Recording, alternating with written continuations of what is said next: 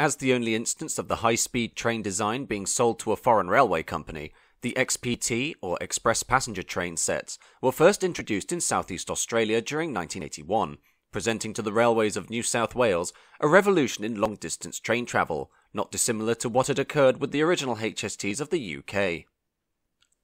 The XPT story goes back to 1976, as while the prototype HST was undergoing trials in the UK and production sets were starting to be rolled out on the Great Western Main Line from London Paddington during October of that year, a state election was being held in the Australian territory of New South Wales, with incumbent Liberal Premier Eric Willis being challenged for his position by Labour Party candidate Neville Wran, the premiership of the Liberal Party being one mired in unpopular controversy following the retirement of four term Premier Sir Robert Askin. In January 1975, his replacement, Tom Lewis, being dropped as Premier after only a year due to his appointment of the Liberal Mayor of Albury, Cleaver Bunton, into a senatorial position previously occupied by Labour member Lionel Murphy, a move which sparked outrage across both sides of the political spectrum and saw him ousted through a vote of no confidence in favour of Willis. Amid the crumbling image of the Liberal Party, Labour Party candidate Neville Wran committed his prospective government to revitalising the ageing infrastructure of New South Wales, most notably the railway system, which comprised a mixture of high intensity commuter services into and out of Sydney and long distance express trains which travelled to the Australian capital of Canberra and other regional centres such as Newcastle and Broken Hill. The operation of the railways, together with bus and ferry services in New South Wales, having been undertaken by the Public Transport Commission or PTC since its formation in October 1972 under the Public Transport Commission Act this being a state owned organisation which, controversially, had enacted large cutbacks in track mileage and services in order to reduce costs while under the control of the first Chief Commissioner, Philip Shirley, who, in his previous capacities, had been involved in the Beeching cuts of the British railway network during the 1960s. By 1976, the PTC operated an increasingly decrepit fleet of rolling stock, which largely dated back at least 20 years, including loco hauled passenger services powered by 1950s built 4.2 class and 4.4 class cab units, derived from the electromotive diesel F9 locomotives of North America. While on the run between Parkes and Broken Hill, the Silver City Comet diesel multiple unit, an Art Deco stainless steel express train reminiscent of the Burlington's Pioneer Zephyr, continued to ply its trade even 40 years after it had first been introduced the most modern equipment in PTC's arsenal being the 1972 built S sets constructed for the Sydney commuter service by Commonwealth Engineering or ComEng, which were notable for having no air conditioning and thus earned the name sweat sets. Owing to the continued stagnation of the railway system in New South Wales and the ineffectiveness of the PTC to introduce significant improvements in order to win back passengers from domestic air services and the Australian National Highway System, Neville Wran, who had won the 1976 state election with 49% of the vote, ordered the PTC to undertake early studies into potential upgrades to railway operations in the territory, primarily on the longer distance expresses, which carried the heaviest burden of losses, while high intensity commuter trains and freight trains were able to maintain a steady profit. In response, the PTC invited from January 1978 a series of tenders for 25 high speed rail cars, which were similar to the Western Australian Government Railways WCE class rail cars of 1971. These diesel units having been built by ComEng at their Granville works in New South Wales in response to the opening of the standard gauge main line between Perth and Kalgoorlie in mid 1969. These 93 mile an hour machines capable of completing the 406 mile journey in a mere 8 hours and thus allowed for the replacement of the previous 14 hour Kalgoorlie overnight sleeping train with a daytime service called the Prospector, making it the fastest train in Australia upon the start of operations on November 29th of that year. However, while the WCE class had illustrated superb performance on the Prospector run, ComEng's eyes were drawn to the United Kingdom, where after just over a year in service, the Intercity 125 sets, also known as high speed trains, had illustrated a major revolution on long distance journeys within Great Britain. The sturdy design of two power cars and eight brand new Mark III trailers, presenting incredible flexibility and reliability, while also delivering a superb 125 mile an hour service speed, bringing major regional centres such as Bristol, Bath, Peterborough, and Swindon to within easy commuting distance of London. Seeing the remarkable success of the HSTs, which was reflected through a huge resurgence in passenger numbers on long distance express services on the Great Western and East Coast main lines, ComEng submitted a tender for a brand new express passenger train, which would be based on the fundamental principles of the Intercity 125 once a license to build a derivative design had been secured from British Rail Engineering Limited. These sets comprising two power cars at either end of five car train sets, which would be propelled by D rated versions of the Paxman Valenta power units from the British HST, tuning down their potential output from 2,250 horsepower to 2,000 horsepower, and thus presenting a top service speed of 99 miles an hour. In 1979, Following the submission of bids from other Australian railway manufacturers, ComEng were announced to have successfully won the contract to build what was meant to be originally 100 vehicles, comprising 30 power cars and 70 carriages. But due to the continuing losses of the PTC, as the rail services of New South Wales remained largely uncompetitive, this order was cut back to only 30 vehicles by the time ComEng signed the contract in March 1980. The final build out for this new fleet of Australian HSTs being 10 power cars and 20 carriages, which would form four five car sets, with two power cars being kept as spares. Construction of both power cars and coaching stock would be undertaken at ComEng's Granville Works, while due to the Mark III carriage from the original HST not being suitable for the harsh conditions of the Australian railway system, a more robust design was developed in which the trailers were built to a Budd inspired stainless steel aesthetic the power car designs differing from those of the British HST by way of being approximately 20 inches shorter and featuring a revised light cluster arrangement, which included high beam spotlights fitted to the cab roof, while the air filters and mast and cooling systems were modified to cater for the hot and dusty Australian conditions. As these new sets were being assembled, the PTC was disbanded and replaced by two new transport authorities under the Transport Authorities Act of 1980, which, from July 1st of that year, created the State Rail Authority, which was responsible for the operation and maintenance of the railway system, and the Urban Transit Authority, which operated the bus and ferry systems for Sydney and Newcastle. The splitting of bus and ferry services into their own authority, allowing for a greater focus improving the ailing railway system by the SRA, the primary goal being to revitalise longer distance expresses. In the end, the first power car and trailer underwent acceptance tests during August 1981, the trains being christened the name XPT or Express Passenger Train, and were outshopped in a red, orange, and black livery, somewhat reminiscent of the newly introduced Intercity Executive colours that had been applied to the prototype Advanced Passenger Train or APT of the UK. The XPT proving its worth on September 6th of the same year, when, during a test run to Albury, the first set achieved a top speed of 120 miles an hour between Tabletop and Yerong Creek a speed record for Australian trains, which would remain unbeaten until May 1999, when a Queensland Rail electric tilt train achieved a top speed of 130 miles an hour. Entering revenue service from April 8, 1982, the first XPT operations began with the 288 mile Central West Express from Sydney to Dubbo, replacing 4 2 and 4 3 class locomotives and reducing the journey time to 6 hours and 30 minutes, while the Mid North Coast XPT to Kempsey followed a month later, and the Riverina XPT to Albury in August. The phenomenal success of the XPT in providing reliable, flexible, and modern transport for passengers on long distance expresses, giving the SRA the incentive to order a further 5 power cars and 15 trailers from 1983, allowing for the start of the Canberra XPT from August of that year, which shaved 50 minutes off the journey time, and the Northern Tablelands XPT to Glen Innes and Tenterfield in June 1984.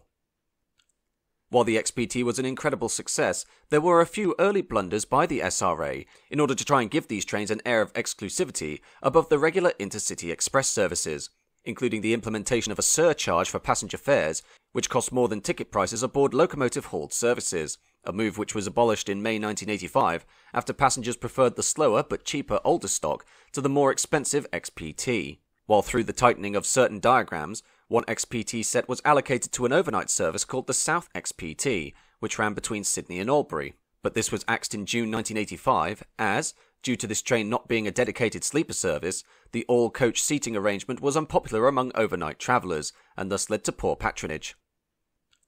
Furthermore, from October 1985, the Mid North Coast XPT to Kempsey was axed and replaced by the Holiday Coast XPT to Grafton, while the Northern Tablelands XPT was also cut back to Armidale and only ran on alternate days. With a loco hauled set running on those days, the XPT didn't. Proposals to extend XPT operations to Melbourne from February 1985 also being mooted, with the costs of running the service being shared by the state owned operator of Victoria, V Line, and seeing several demonstration and crew training runs being conducted on the North East line between Albury and Benalla, during July of that year, pending a start of service from August 3rd, but due to the inability for an agreement to be reached with the Australian Federated Union of Locomotive Employees over crewing, the proposal to run an XPT service to Melbourne was ultimately shelved.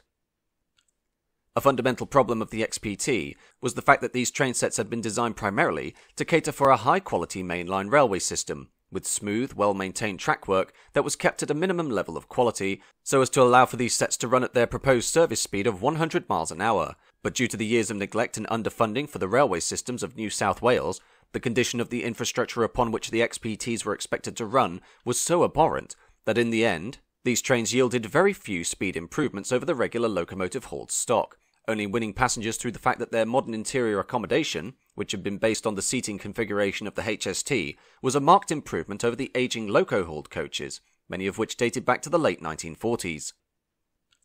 There was hope for the XPT, though, in the form of export sales, the more rugged design of these train sets when compared to the original HSTs of the UK, meaning they were perfectly suited for railway systems with rough track work that operated in extremely humid conditions, one of the most promising export proposals coming from the State Railway of Thailand in 1983, which wanted to expand its railway system across the nation, but had only a supply of sluggish diesel rail cars to operate the service. The Thai Railways designating any potential new stock for the improved service as enhanced performance trains, but unfortunately lacked experience when it came to pinning down the necessary specifications for an appropriate design. Therefore, through the encouragement of Austrade, the Australian government's trade export department, ComEng saw this as a golden opportunity to provide consultation to the Thai railways, with a possible view of presenting an export model of their own stock, which would be tailored to the narrower 3 foot 3 inch gauge of Thailand's rail system. Although one drawback of the consultation were limits to the speed at which the enhanced performance trains could operate on Thailand's railways due to a propensity by the local population to create their own makeshift self propelled hand carts and rail wagons. These lightweight, homemade vehicles being easy to lift off the tracks and then re-rail in the event a service train was encountered, this trend among the Thai locals only being achievable due to the incredibly slow speed of regular trains.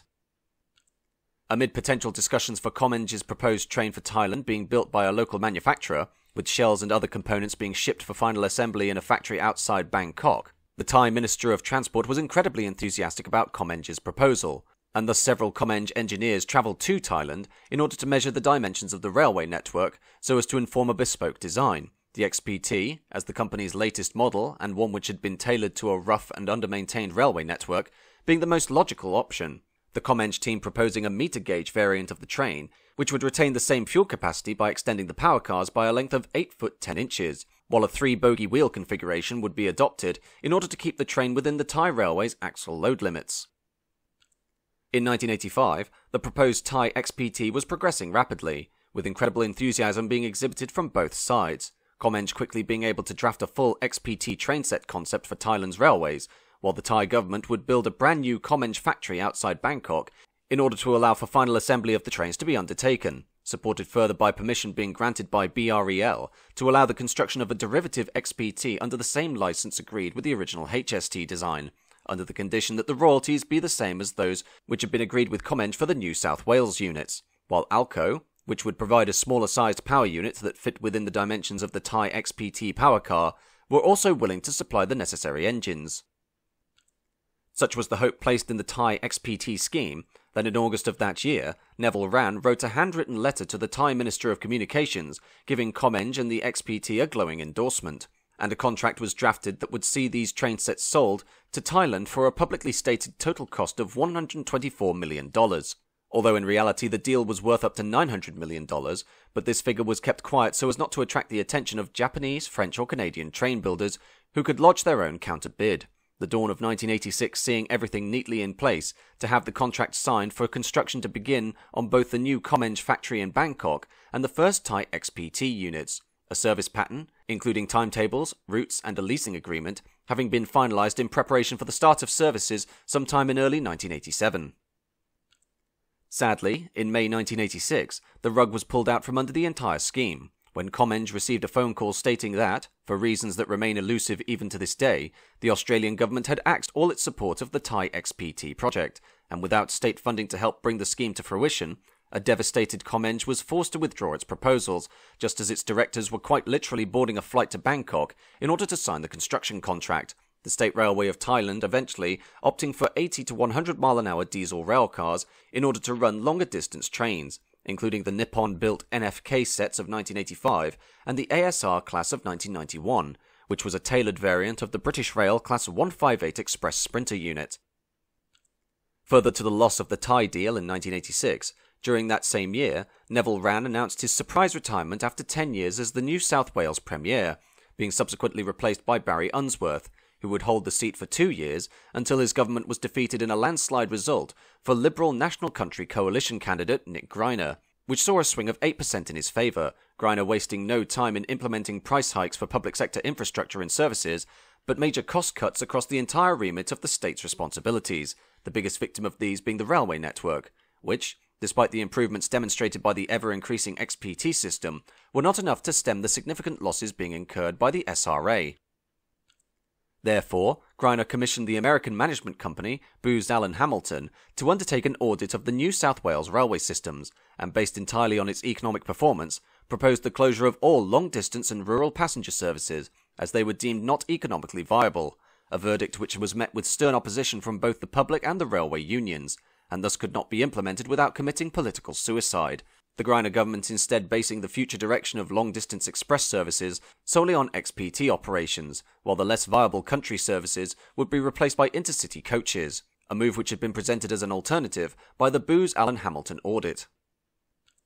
In response, the SRA established a new subsidiary firm called CountryLink as part of the Transport Administration Act of 1988. This new company, formed in January 1989, being placed in charge of all non metropolitan long distance passenger services, and thus inherited the entire fleet of XPT sets and what loco hauled services remained. The focus of CountryLink being to reinforce XPT operations on trunk routes between major regional centres and trimming back on the less viable services such as the Silver City Comet, which was axed in November of the same year after 52 years of service, while in February 1990, the Brisbane Limited and Pacific Coast motor rail services were withdrawn and replaced by XPTs, allowing these trains, for the first time, to run outside of New South Wales and into Queensland. But this came at the expense of the Canberra XPT, which was axed in order to provide the surplus sets necessary to work to Brisbane, this operation being taken over by locomotive hauled stock.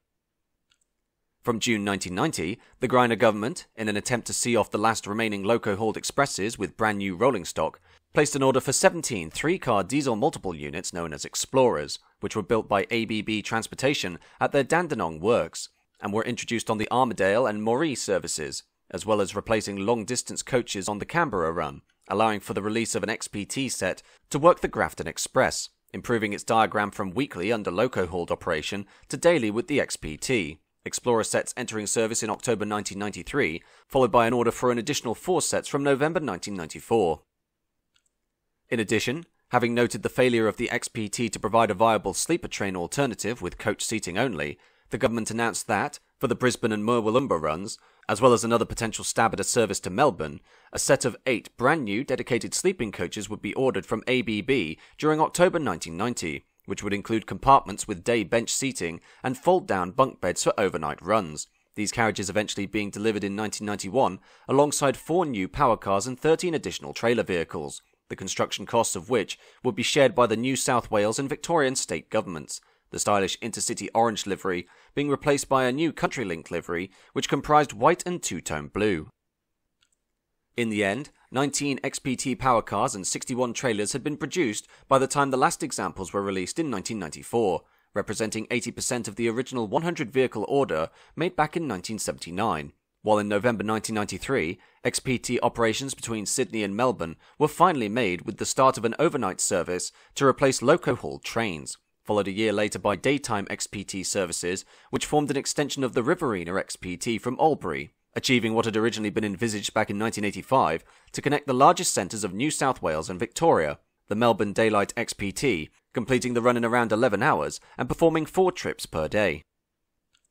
Throughout the 1990s, Further attempts to improve the XPT came in the form of three tilting carriages from the highly successful Swedish Railways X2000, this European electric multiple unit having been purpose built to reduce journey times on the notoriously winding rail corridors of the Nordic nation without the need for major infrastructural changes, and thus was considered perfectly suitable for the curving mainline routes across New South Wales. the three carriages being tested with two XPT power cars between April and June 1995 on the Sydney to Canberra run, but ultimately failed to see entry into service. In June 2000, seeing the age of the original Paxman Valenta power units, these engines were replaced by an updated version dubbed the VP185, which had been trialled since 1994 on four HST power cars in the UK, and illustrated a significant improvement in efficiency over the Valentas, the 2001 horsepower engines married to traction equipment supplied by Brush of Loughborough in England, eventually replacing all Valenta powered units by 2001, while the naming convention for the power cars incorporated the cities served by the XPT network, including Brisbane, Sydney, Canberra, and Melbourne.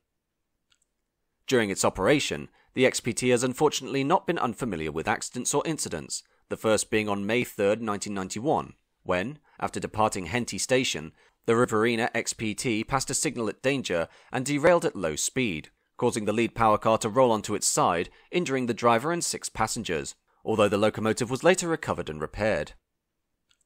On January 27, 2001, the Riverina XPT was again involved in a crash when the set struck a car on a level crossing for the Olympic Highway at Gerogery, New South Wales, resulting in the deaths of all five occupants of the car and causing the derailment of the XPT set, this accident being one of several fatal collisions at level crossings across the New South Wales railway network, and thus led to a concerted effort by the railway authorities to replace as many grade crossings as possible with overbridges or underbridges, as was the case with the Olympic Highway at Gerogery, which was put onto an overpass in December 2005.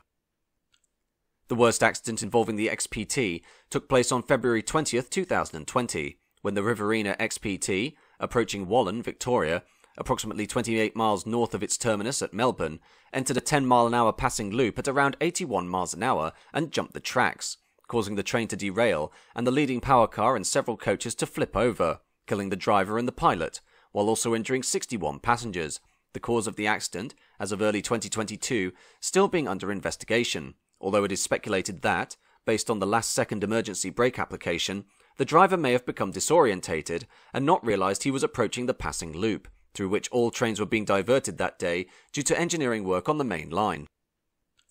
Today, XPTs are used on services from Sydney to Grafton, Casino, Brisbane, Dubbo, and Melbourne, with each set, excluding the Dubbo XPT, being rotated on a seven day cycle to all of the remaining four destinations, while maintenance is conducted at the specially built XPT Service Centre near Sydenham Station, which was opened in 1981 alongside the introduction of the trains, the depot also providing service to the Explorer rail cars and Endeavour units built by ABB in 1994.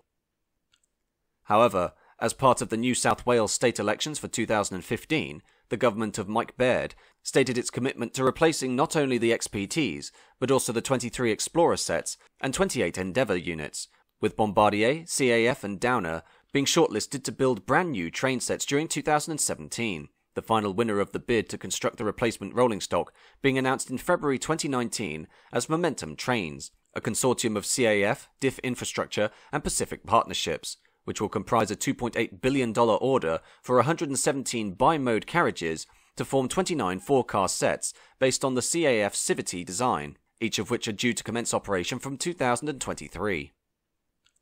Nevertheless, while the XPTs are now facing their retirement as development of the new sets built by CAF gets underway, one cannot understate the impact these superb trains have had on the operation of long distance express services across New South Wales, Queensland, and Victoria. As even though the conditions of the track work and a hesitancy by the state government has stunted the overall potential of these highly versatile express trains, they were still able to provide an efficient, reliable, and modern replacement to the aging loco hauled stock that preceded them, mirroring the similar success story of the original HSTs of the UK by bringing a new era of speed and comfort to the long distance passenger market.